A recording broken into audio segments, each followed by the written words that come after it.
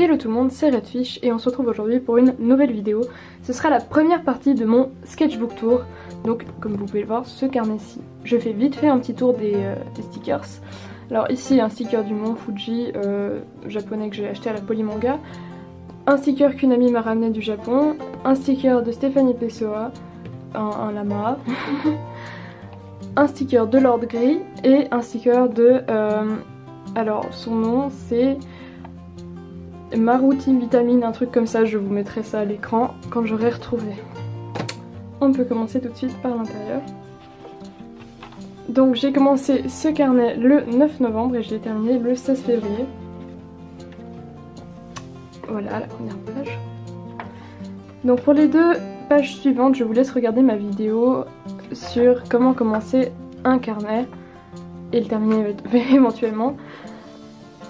Et on peut commencer directement par faire un petit tour de mes dessins. Alors, ça c'est fait à la gouache. Alors ce qu'il faut savoir, si vous ne le savez pas déjà, c'est que je dessine énormément en cours, ce qui fait que beaucoup de ces dessins sont faits avec euh, les feutres que j'ai dans ma trousse d'école du coup. Donc euh, stylo à billes, etc. Euh, voilà. Et euh, tout ce qui est fait à la gouache par exemple c'est vraiment fait à la maison, je vais pas prendre mes gouaches euh, à l'école. Ça m'est déjà arrivé de prendre mes aquarelles mais pas mes gouaches. Alors ça c'est un test raté de, euh, du challenge Pastel Girl. Pastel Girl, c'est un truc qui a couru sur Instagram pendant un moment mais je, je suis pas très contente du résultat parce que j'ai voulu tester un nouveau type de line. Ici c'est le premier dessin de Monsieur Fatigue qui est un nouveau nouvel OC en fait, qui a normalement 14 ans mais qui a l'air d'avoir 150 ans à cause de ses, cernes monstrueuses. Il est inspiré de mon état euh, normal en classe. Cette page a été recouverte trois fois et le dernier truc que j'ai laissé en place c'est euh, cette aurore boréale. C'est fait à la gouache et au crayon. Et ici un print de Stéphanie Pessoa. J'ai trouvé qu'ils allaient très bien ensemble, ces deux dessins. Là j'ai voulu tester quelque chose avec euh, ces, papiers pour me dire d'avoir plus de backgrounds à travailler. Et euh, je suis pas très contente du résultat, mais bon, je pouvais plus trop changer. J'ai testé quoi. Ça, c'est un dessin que j'ai fait en maths. Enfin, je sais pas si le dessin je l'ai fait en maths, mais ça a l'air très inspiré en tout cas. Et j'ai fait des maths dessous. Oui, une dérivée. Merveilleux. Là, c'est un dessin de Flora. Trop mignonne. Euh, une fille à la gouache simplement et des petits croquis. Alors ça je voulais faire une peinture à la gouache complète avec ça, euh, donc en grand, mais j'ai jamais eu le temps de le faire en fait. Mais j'ai imaginé toute une histoire avec ce petit automate de bibliothèque qui irait chercher les livres. J'imaginais plein de choses comme ça avec des petits, petits escaliers dans les, dans les bibliothèques et tout, un truc assez mignon et steampunk dans l'idée. Là c'est un dessin que j'ai fait à partir d'une photo sur Instagram de Nasty Magazine. Et euh, c'est un random euh, dessin que je voulais faire au digital et que je n'ai pas fait non plus. De nouveau Monsieur Fatigue, un petit truc. Ici c'est Mr. Kid sur Instagram, il y avait une photo de lui comme ça en noir et blanc, coupé ici et ici, donc c'est pas c'est pas parce que c'est un zombie ou quelque chose comme ça. Mais voilà, et j'ai fait avec des couleurs euh, assez subjectives, donc pas les couleurs de la vraie vie, vu qu'il n'a pas les cheveux violets, ni les poils violets, ni la barbe violette. Ça c'était une allégorie des désirs vains que j'ai fait en cours de philosophie donc c'est très compliqué de vous expliquer tout ça mais en gros voilà c'est les désirs vains. euh, voilà, les petits dessins. Là c'est une double page que je j'aime pas du tout donc on va très vite passer. Un croquis pour un je dessine vos OC. D'ailleurs ça finit dans cette position là avec pas ce style là, j'ai fait un style plus délicat mais bref, j'ai juste fait des croquis, comme d'habitude. Une femme champignon un peu dérangeante. Un projet que j'ai jamais fait. De nouveau, un je dessine vos OC. En fait non, c'était dans, dans la même vidéo, mais c'est un deuxième OC. Me demandez pas pourquoi ce crabe là est, juste euh, collé là. Je, sais pas exactement pourquoi j'ai collé ça. Alors là c'est Flora, du coup mon OC. Euh, et j'ai pris en photo en fait le croquis pour le refaire au digital, donc pour mettre les couleurs euh, au digital. Et est-ce que je vais réussir à vous... Oui, j'arrive parfaitement à glisser entre les fils du trépied. Et là voilà la version digitale du coup de ma Flora. suis d'ailleurs très très contente de voir tous vos dessins pour le, concours, ça fait plaisir. J'en ai reçu quelques-uns seulement pour l'instant parce que je tourne la vidéo euh, du coup deux jours après avoir posté celle du concours. J'ai fait la même chose là avec mon autre, c'est Ellie. Euh, donc on va refaire cette opération périlleuse que de glisser le carnet entre les pieds du... Voilà. Et voilà la version digitale qui est assez pixelisée parce que j'ai pas pris la bonne, euh, le bon format de calque et j'ai eu la flemme de recommencer une fois que j'étais avancée assez loin. J'ai remarqué que c'était quand même vachement pixelisé et que c'était difficile de travailler avec, mais bon, bref.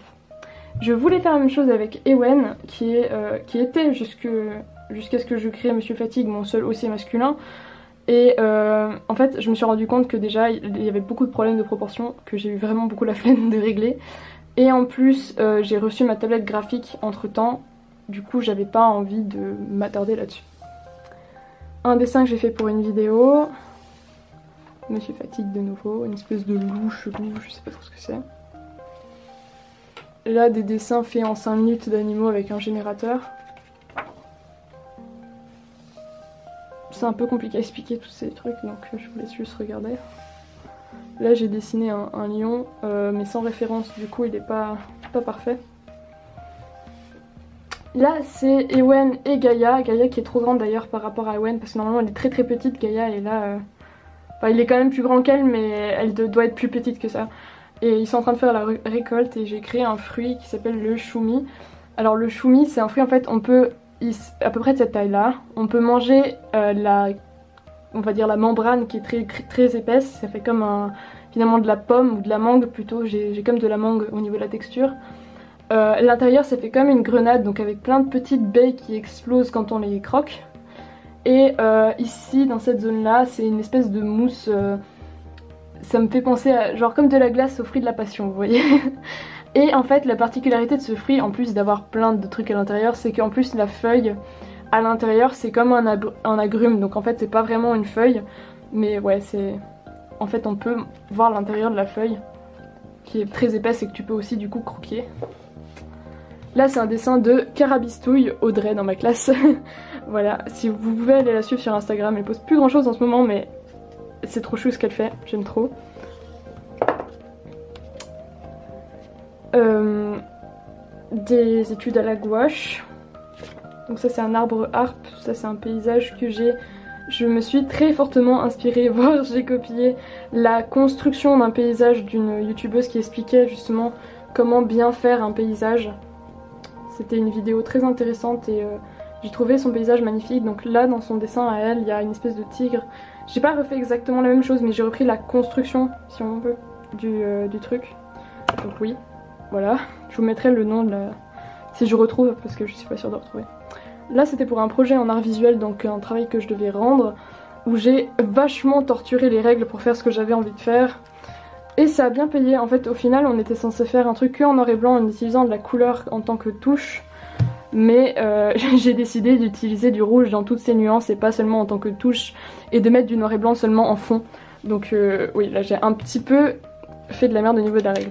Là c'est juste un truc euh, dégueu de test. Du coup voilà. Là j'ai protégé avec une feuille de papier calque parce que comme c'est du crayon ça vient salir l'autre page. Voilà. ça c'est de la peinture périmée. Voilà, elle fonctionne très très bien pour de la peinture périmée. Des petits dessins que j'ai collés. Hop. Alors là on arrive sur une page assez spéciale, donc là c'est juste un dessin que j'ai fait en cours de français sans, référence, mais à partir de là, c'est des dessins que j'ai fait à partir de poses dans euh, Black Clover, le manga, euh, j'ai repris certaines poses, donc par exemple là, vous voyez j'ai pris Asta euh, et j'en ai fait une autre pose, hein, une autre intention, mais avec Monsieur Fatigue. C'est pas vraiment de la copie, c'est du vol d'idées on va dire, c'est du vol de pose, c'est vraiment juste pour m'entraîner, c'est pour ça que je poste pas ces dessins, même si j'en suis assez fière. Je les poste pas parce que techniquement il y a quand même des éléments que j'ai à peu près volés, et voilà, c'est pas authentiquement des miens, mais c'est juste pour m'entraîner que je le fais. Euh, et, voilà. par exemple, là, j'ai quand même changé par exemple le pied pour qu'il passe dans le cadre, la main parce que je sais que je l'aurais pas faite comme ça. Des choses euh, comme ça. Là, c'est Gaïa. Alors là, j'avais repris la pose de Luc Volta que j'essaye de passer de nouveau.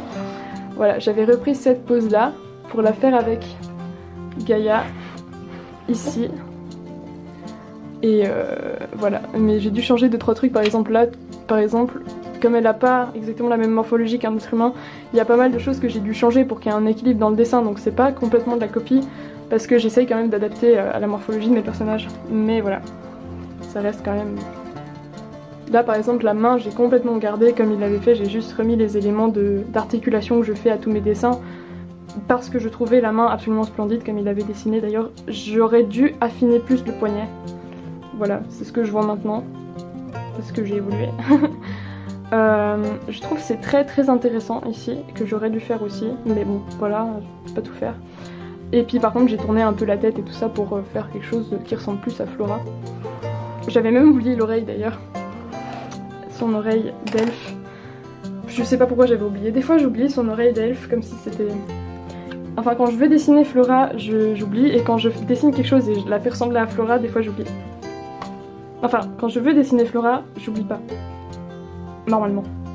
Mais là, comme j'ai dessiné une fille et que je voulais la faire ressembler à Flora, bah j'ai oublié l'oreille du coup.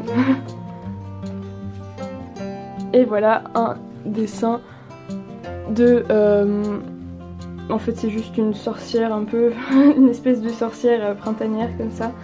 J'ai posté sur Instagram, il a eu pas mal de succès celui-là et je l'ai fait en fait avec euh, ce que j'avais reçu à Noël au niveau de des, feutres et tout ça.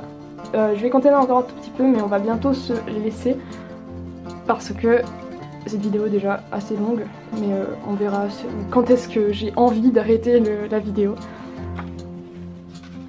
Là c'est un tigre que j'ai dessiné en classe euh, sans référence de nouveau donc c'est pour ça que ça ressemble pas totalement à un tigre. C'est que c'est hyper difficile de dessiner ce genre d'animaux sans référence vraiment. De nouveau Monsieur Fatigue, va... C'est vraiment l'allégorie de moi en train de mourir en classe. C'est tellement ça. Euh, de nouveau Flora, euh, que j'ai galéré à faire parce que je fais souvent les profils d'un côté et jamais de l'autre côté. Résultat, là, la tête est trop grosse, le corps il est un peu... Enfin bref. Si je la refais au digital, j'améliorerai tout ça. Euh, ici, ma nouvelle photo de profil. Enfin, nouvelle, ça fait quand même un moment du coup. Un truc un peu abstrait que j'avais fait en cours. Alors là c'est un, une espèce d'ange de Noël, sapin, c'est inspiré d'une youtubeuse qui a fait la même idée, j'ai voulu reprendre l'idée pour en faire euh, mon personnage si on veut, mais en gros j'ai repris complètement une idée, donc je mettrai aussi la référence. Ça c'est un pyjama que je veux, je veux absolument ce pyjama. je, je, sais pas s'il existe en vrai, je sais que ça existe ce genre de pyjama, mais euh, celui-là, euh, c'est moi qui l'ai dessiné du coup, ben je pense pas. Mais j'aimerais bien avoir celui-là, genre un peu court, la chemise, un, pantalon large, confortable et tout, en, coton. voilà. Alors ça c'est fait avec des néocolores. Alors oui, pour euh, les néocolores c'est ça, si vous connaissez pas. Pouf, c'est ça en fait, ça se présente un peu comme des Crayolas. Et euh, voilà, c'est normalement je crois fait en Suisse cette marque. Ouais, Swiss Made. Du coup, euh, je sais pas si vous connaissez ça, mais en gros c'est aquarellable et on peut faire des couleurs, enfin c'est vraiment des couleurs très très vives, du coup ça fait ce genre d'effet. Alors c'est des dessins que j'ai fait très vite, là c'est une page que je déteste, donc passons. Ça aussi, donc passons. Des billets de train, euh, c'est le premier... 1er euh, janvier. Donc je vais vous laisser là pour cette vidéo parce que je sais qu'à ce moment là on était le 1er janvier donc euh, tout ce qui sera la deuxième partie sera du coup euh, la fin, enfin non, le début de l'année 2019 du coup. Du coup voilà, je vous fais à tous de gros bisous et on se retrouve la semaine prochaine pour une nouvelle vidéo. Euh, j'espère que vous allez bien, que ça va bien se passer, que vous allez faire le concours aussi, pour ceux qui n'ont pas encore fait. Et, et voilà, gros bisous à tous